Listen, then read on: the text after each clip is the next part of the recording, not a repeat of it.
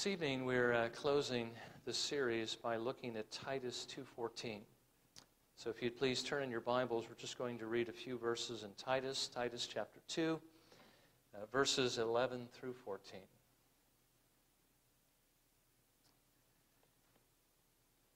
And may again the Lord grant us his grace and mercy as we read his word, that we may receive it as his word, and may he also give us grace to receive what he has for us this evening.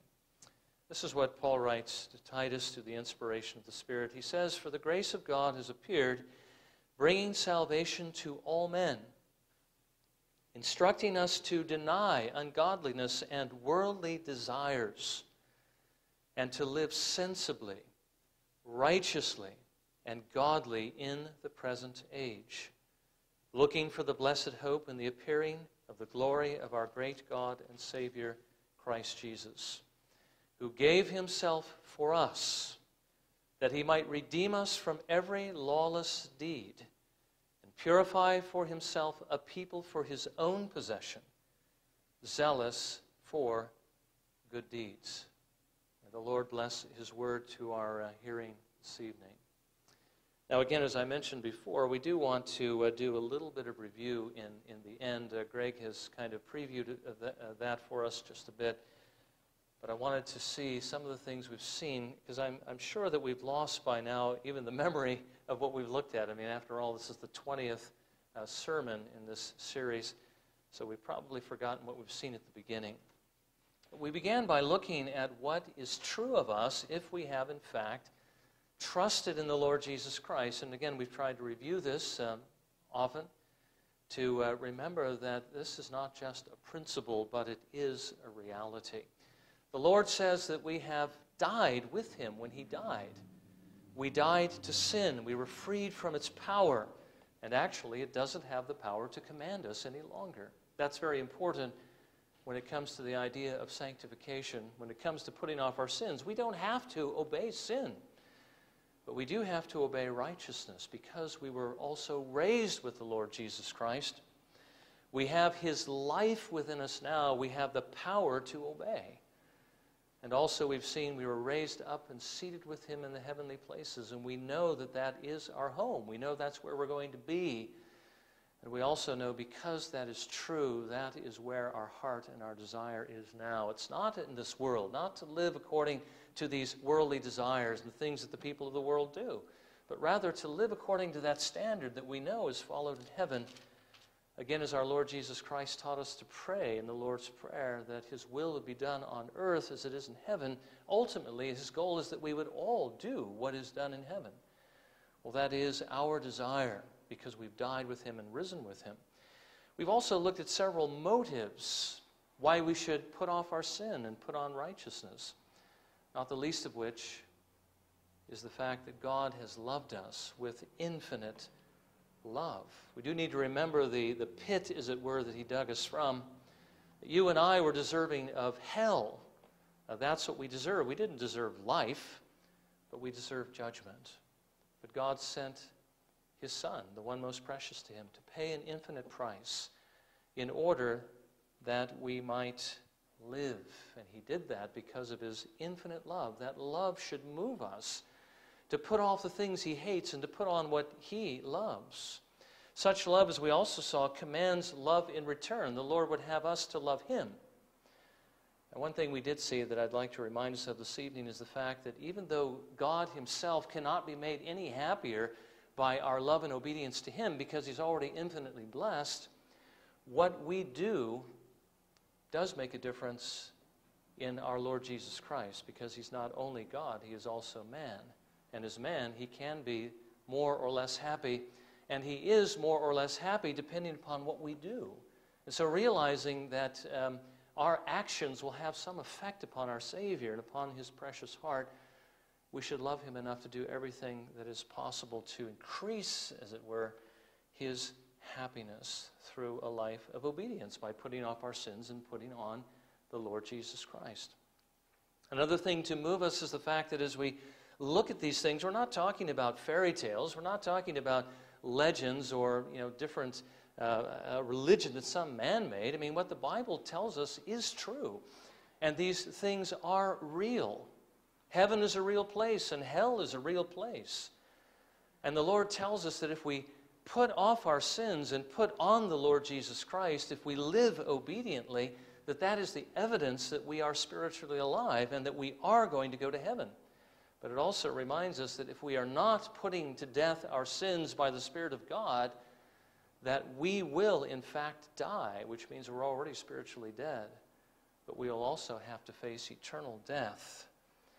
So if we believe what the Bible says is true, which it is, we will die to sin and we will live obedient lives. We've seen several commandments also to do this very thing to love the Lord our God with all our heart, mind, soul, and strength, which of course he is worthy of. To set our mind upon heaven and not upon the world. To the degree that our hearts are captured by this world, to that degree, it will weaken our love for the Lord. And again, you know as well as I do, especially when it comes to zeal, which we're looking at this evening, we're only going to do God's will as far as our heart moves us. We need to love the Lord more if we are going to obey Him more. We saw that we were commanded to put on the Lord Jesus Christ and make no provision for our flesh with regard to its lust. I mean, we are to take care of ourselves but we are not to allow any sin. We are not to allow ourselves to engage in things that tempt us, that weaken God's grace in us. We are to put off every sin universally and put on every commandment, as submit to every commandment. And of course, we've just finished looking at the many things that God has given to us to strengthen that love and grace that is in our souls. Actually, we've seen it expounded over you know, several years at 52 uh, meditations at, at a time and sort of summarized it down uh, into those different means of grace that the Lord has given to us, that God has given to us prayer, a way to, uh, to talk with Him and to call down His help. And the Lord would have us to pray constantly, to pray according to the will of God or to, according to the Word of God, to pray these promises and believe, to pray in faith, knowing that God hears us and He will help us. We've seen that we are to use the Word of God. We are to read it and apply it in faith, again, because it is true. We've seen the importance of worship, not just worshiping the Lord on the Lord's Day for an hour and a half in the morning, perhaps an hour in the evening, but to worship Him with our whole lives. Remember, we have died to ourselves, and we are alive now just to serve Him. The importance of fellowship of sharing that love the Lord has given to us for each other and that care, which we've seen again this evening, sharing and bearing one another's burdens. That gift of faith to encourage one another that these things are in fact true and we see them making differences in one another's lives. And of course, using those gifts the Lord has given to us to build up the body. We looked at the Lord's Supper and how it is a reminder of His love, of the fact that we died with Him to sin and of course, that we need to look to Him daily for spiritual nourishment. And baptism, which we saw last week, which was, first of all, a picture of what it is that the Spirit of God is able to do if we trust in the Lord Jesus Christ, and that is to take Christ and apply Him to us and to wash away all of our sins, to wash away our guilt. As a seal, that if we've trusted Jesus Christ, God has actually placed His mark upon us and he says that we are cleansed, we are in Christ, we are safe. And as a mark of ownership, that the Lord owns us. And because we belong to him, we need to give ourselves to him. Again, that's just a summary of what we've seen over the last 19 weeks. This evening, we want to look at uh, one last exhortation to press forward. And that's simply the reminder that Paul gives us again in his word or in, in the word of God as to why Jesus came into the world. Why he lived the life that he lived, why he died on the cross. And basically, he tells us he did this for three reasons. First of all, to redeem us or to free us from every lawless deed which we have committed. Secondly, to purify us, that we might be his own possession that he might own us. And thirdly, to make us zealous for good deeds. Now, again, the point is that this is why Jesus Christ came into the world, if this is the effect that he intended, then we need to examine ourselves to see whether that intended effect is actually coming about, whether we are uh, not only doing good works, but whether we are zealous for these. That is the, the end for which the Lord tells us to put off our sins and to put on Jesus Christ that we might become like him. He was certainly zealous for good deeds. Now, first of all, Paul tells us that Christ came to redeem us from every lawless deed, to set us free from those sins that we have committed, from that guilt. You need to realize that in God's eyes, uh, when, when we came to Him, when Jesus Christ, of course, came to us, really, we had, as it were, a very long rap sheet of charges that were laid against us. I mean, every sin that we have ever committed, beginning with Adam's sin, because we are guilty of what he did in the garden. And sins that we don't even think about are sins. I mean, when, when we were conceived in the womb of our mothers, uh, our soul was also present and it already had a disposition, and that disposition was against God. I mean, we already hated him from the womb, unless we happened to be one of those rare individuals that was uh, already regenerate in the womb, but that's not how most people or most Christians who eventually will become Christians come into the world. When we were born, that disposition of heart continued and we expressed it. I mean, all of us who have children, we know what that's like, and we know what it was like for us to be children. We know there was that sin. And in our childhood, in our adulthood, every inclination of our hearts, every, every thought in our minds, every act, every word was really contrary to God until the Lord saved us. And realizing that every single one of those offenses was an infinite offense in God's holy eyes, and any one of those was enough to condemn us to hell forever. We see that our rap sheet, our predicament was a grave one. But Jesus came into the world to free us from that guilt through the sacrifice that he made on the cross. He has washed us from every stain of sin. The Bible says if you trust in Jesus, not one spot, not one blemish remains. He's taken away those filthy rags and given to us robes of clean white linen. So Jesus came that we might be holy, that we might have a spotless righteousness that was necessary to be able to enter into heaven. He has given to you a clean record. But Jesus Christ also came for a second reason, and that was to purify you for himself, that you might be his possession. Now, as I've already mentioned, your condition originally was sinful. You had a sinful heart. All you wanted was evil. All you did was evil. Paul tells us in Romans 3:12, there is none who does good, there is not even one all the even outwardly good things that you did were done with a impure intent. You might say these good works had the veneer of good, but they had a heart of evil. We were like the Pharisees. You know, they might appear outwardly good, and there are some people who do appear outwardly good, but inside are full of corruption and dead men's bones. Jesus came to cleanse your heart. He not only came to clean up your record, but he also came to clean out your heart to make the inside clean so that the outside would become clean as well. Again, that's what baptism pictures and seals that washing of regeneration that cleanses away guilt and renews the soul, making you want to do what is right. Jesus came to change your hearts and to set you free from lawless deeds. We do need to be reminded that what Jesus came to do is not what a lot of Christians think that, he that he's come to do, which is basically just to give you the clean record. He certainly did that. He paid the price to God's justice and he has set you free. He has redeemed you from hell, but he's done more than that. He has broken the power of sin in your heart. He has come that you might not continue to sin, that you might not continue to rebel against God that you might not continue to hate what is right and to hate God, but rather to love him. The Bible says that if we are going to live with God for all eternity, that we have to be like God. We not only have to have our sin and guilt removed, but we do have to have a change of heart, a change of disposition. We need to be like Him. Jesus came to break the hold that sin has on our hearts. So He came to clean up our record, and He came to purify our hearts.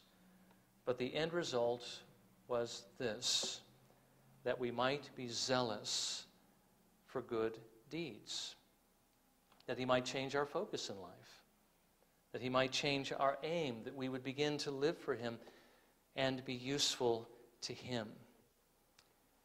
Now, again, this says a great deal about the idea that one can be a Christian and yet not change. They can be a Christian but yet not obey, remain the same, remain in a rebellious state and still go to heaven.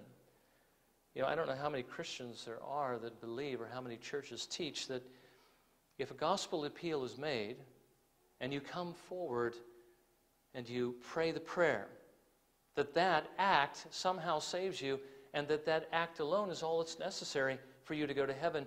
You can go on living the same kind of life that you lived before and have absolutely no change of life. I think I've uh, told you that uh, there are those who believe that you can even go as far as to, to remain an enemy, become even worse of an enemy, spend the rest of your life trying to tear the church to pieces, everything you can do to drag Christ's name through the mud and so forth. And you are still saved because you prayed that prayer. I mean, after all, isn't it true that if you trust in the Lord Jesus Christ, that you'll be saved and you'll be saved eternally and you'll never perish? Well, that certainly is true. But you need to realize as well that many have prayed that prayer, but still did not trust in the Lord Jesus Christ because that act of trust is a gracious act that the Lord must give. He must change the heart and give us a genuine desire to trust in the Lord Jesus Christ. Well, if you haven't trusted in Him, it doesn't matter that you prayed the prayer, you're still guilty, you're still in your sins, and you will still go to hell unless you repent and trust. John tells us that no one who is born of God practices sin because his seed abides in him. And he cannot sin because he is born of God. By this, the children of God and the children of the devil are obvious. Anyone who does not practice righteousness is not of God, nor the one who does not love his brother.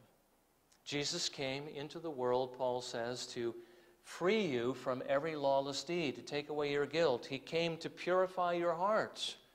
He came to make you zealous for good deeds.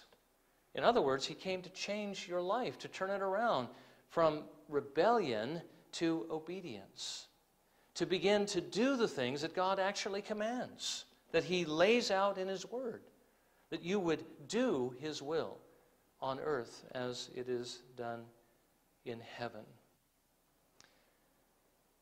Now, if we just focused on doing what the Lord commands us to do, I think we would have, pretty much have our hands full, wouldn't we?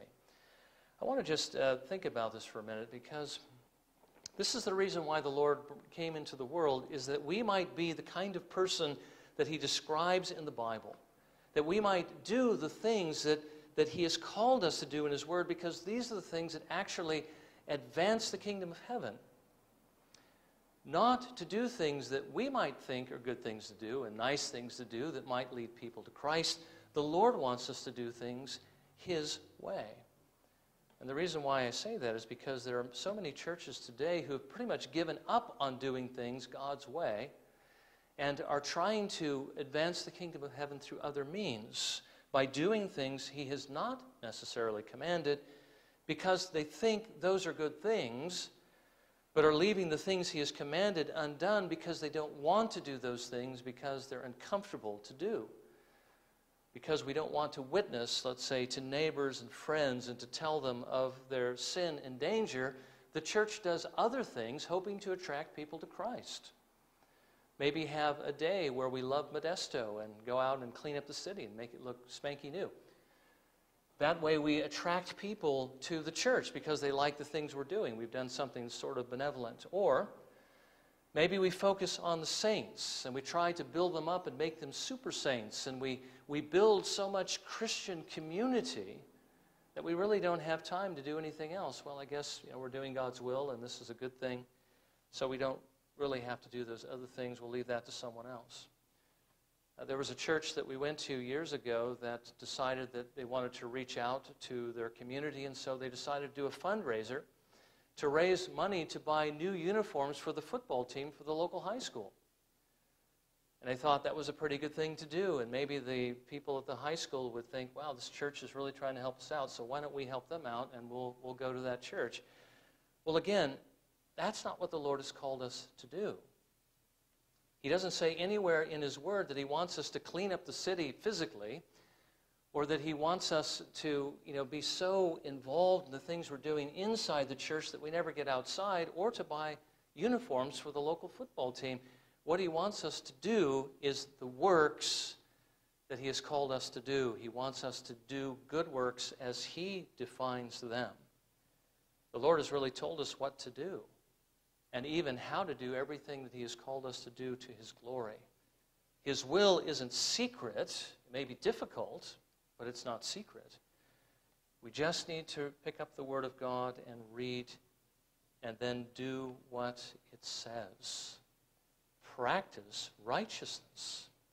That is why the Lord redeemed you. Now realize as well that God not only wants you to do good works as He defines good works, but He wants you to do them in a particular way. He wants you and me to be zealous for these good works, zealous in doing them, not avoid them and not make substitutes, but to do these things because just doing good is really not good enough. I think we'll all recognize that there are degrees of efforts that one can put into something. I mean, one might be driving forward with all their strength and giving all that you have to give. Or one could do it perhaps dragging their feet having their heart just slightly moved with some love for the Lord. Remember what we saw? It wasn't in the context of the series, but we did see it not too long ago. It was on a Sunday evening, as I recall, as well. And uh, also had a talk with the gentleman about it because he had a difficult time understanding this. But in God's eyes, there's a great deal of difference between one who is zealous for Him and one who is lukewarm for Him. Remember what the Bible says about zeal. The Lord says uh, to the church that He would that you be either hot or cold, but not lukewarm. In other words, be zealous for me or have nothing to do with me, but don't be lukewarm in these things which are of infinite value, that are infinitely precious in the eyes of the Lord.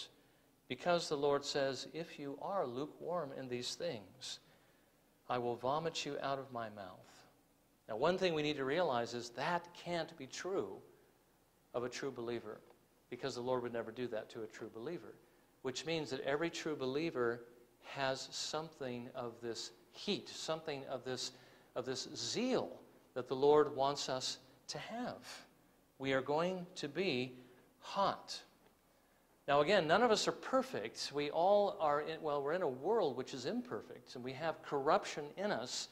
And as we've already seen through this series, there are going to be things that are cooling us down, or at least attempting to, but there is going to be that secret oil that the Lord gives to us to keep that fire burning and to keep it hot.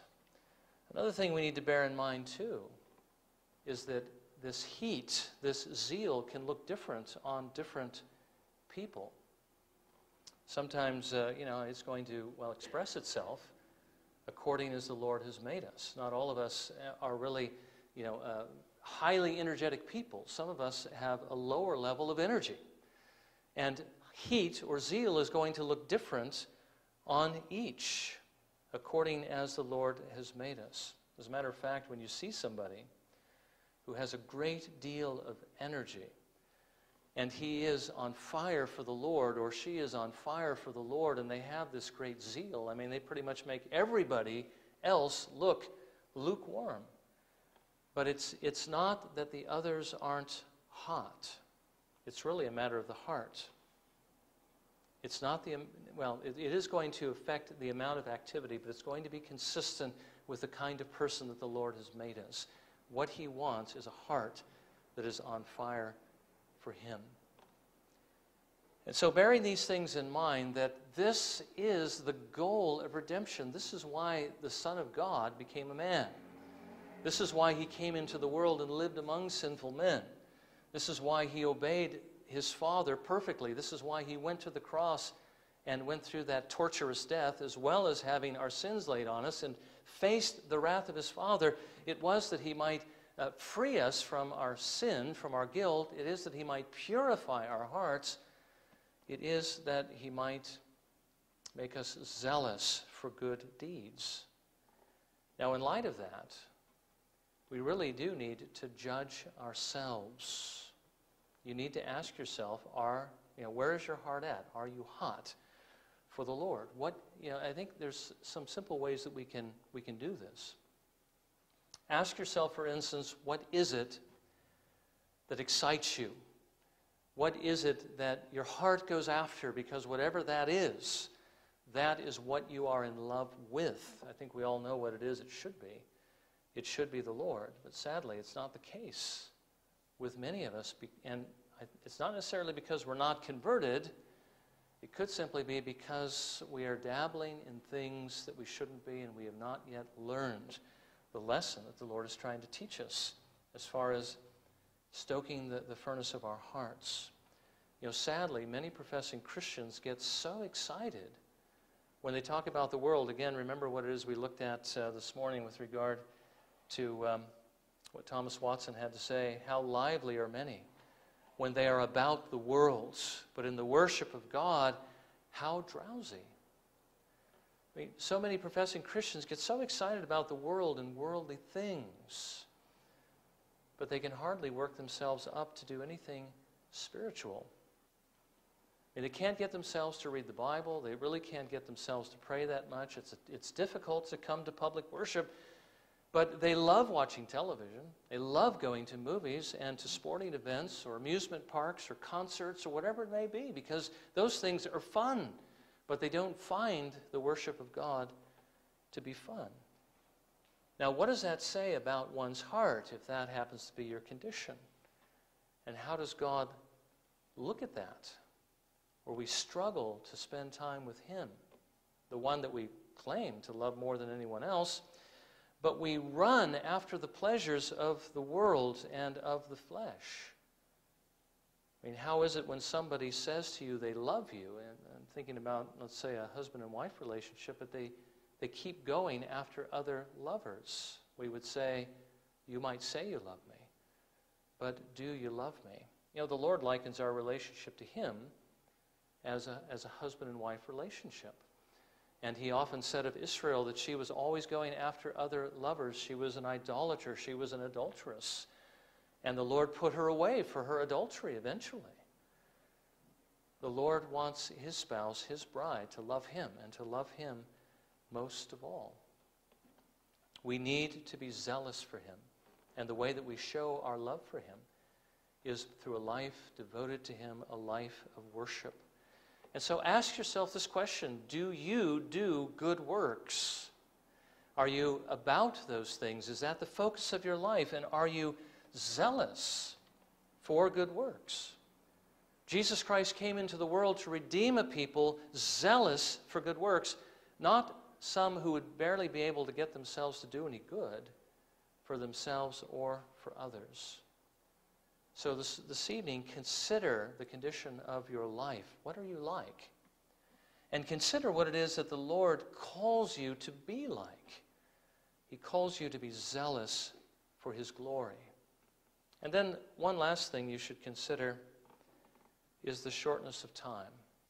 You know, Paul tells us that we should redeem the time. We when we see temporal markers, when we see another year of our life at a birthday go by, or if we see the, the new year go by and we think another year's gone by, what have I done with that year? And realizing that we only have a few of these years in which to do anything, considering the shortness of your life, what are you doing with it? Are you redeeming the time? Are you taking opportunity while it's still day, knowing that the night is coming when you're not going to be able to do anything else. You know, the Bible continually reminds us, the Lord reminds us, that we have just a very brief window of time in which to show our love to the Lord and to show it to the world in order that the world might be saved. What are you doing with that time? And what should you do? Well, you need to remember what the Lord calls you to be, why it is He redeemed you, that you might be zealous. You need to repent of indifference and renew that vision of God's love. Stoke the love that the Lord has put within your heart using the means of grace and press forward. Now, again, one thing that I believe Jay Adams said, and, um, and I think it, it, it, would be helpful at this point, is we can get into a rut. Uh, we can fall into bad habits, and bad habits are hard to break. Of, again, not getting into the Word, not praying, not using the means of grace, not getting busy and serving the Lord because we're used to going a particular way. And you know as well as I do that it's, it's hard to break those patterns. I mean, we, we listen to a sermon and we, we hear something that resonates with us, we, we say, that's a good thing. And I want to do that. But as soon as it's over, we forget and nothing changes, but we continue to live just exactly the way that we have lived before. We need to break out of every rut. We need to, to break every bad habit that we have and develop new ones. Jonathan Edwards, very early in life, again wrote these resolutions, and the one that I keep coming back to is, is one that we would all do well to live by, and, and again, no one does it perfectly. But he said this Resolve to live with all my might while I do live. In other words, not to waste time, not to live half heartedly, not to live in you know, a lukewarmness, as it were, but to be hot for the Lord, to be zealous for Him. If you look at what he was able to produce or what the Lord actually produced through his life, because of his willingness to serve the Lord, it's tremendous. The Lord did tremendous things through him, things that are still benefiting the church today. That's what we ought to be striving to do with our lives in that little bit of time that we have in order to serve him. Jonathan Edwards once just, just looked at a day and he says, you know, just, just consider one day. Consider if you were to give all that you had to give to the Lord and try to do as much good as you could possibly do in one day, how much good could you do? He believed you could do quite a bit if your heart was fully in it.